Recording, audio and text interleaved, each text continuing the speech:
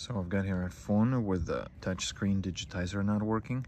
Can do nothing, cannot restart it because you need to slide the slider. And if you want to do this without touching the screen, there's a combination to do it. So you're gonna press volume up, press volume down, and then press and hold the power button. So here we go. Just gonna keep holding it until it reboots. So it goes off. Keep holding it until you see Apple logo. Now you can re release it.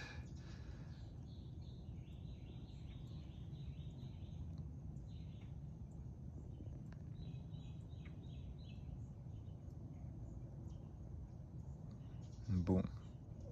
And it's working again now. You can see the buttons are pressing. Just some kind of weird glitch. I'm not sure why it does it, but it does.